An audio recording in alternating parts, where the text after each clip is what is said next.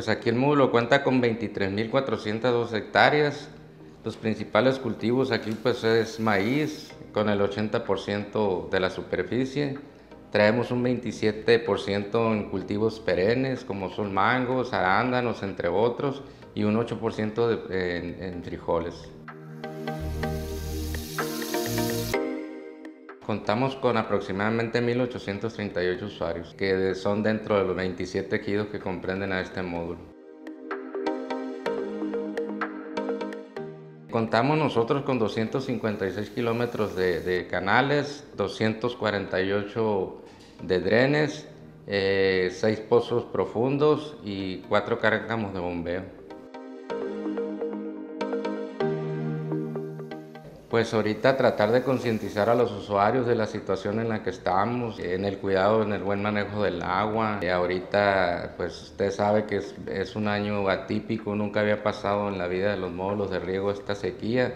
Y tratar de concientizarlos de cuidar el agua, tanto ellos como usuarios, como los productores que no son usuarios y estar muy al pendiente con sus regadores en, en el buen cuidado del agua.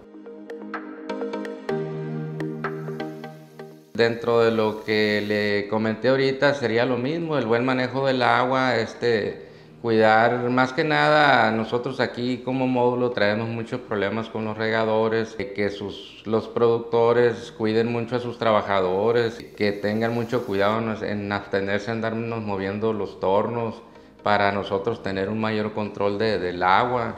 Eh, hacer trazos de riego cortos y nosotros como módulo pues tratar este de, de, en lo más que se pueda hacer rescates de agua, de drenes, más que nada de drenes y de los pozos profundos.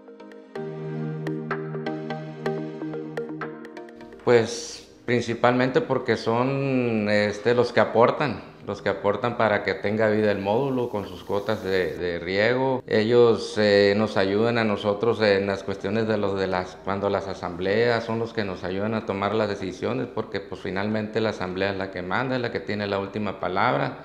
Entre otras muchas cosas, para mí eso son de las cosas más importantes que el usuario esté al pendiente del buen cuidado del módulo y que a nosotros como directivos tener la tranquilidad de que llegando a una asamblea ellos este, son los que tienen la última palabra y los que nos van a ayudar para que el módulo entre en un mejor funcionamiento.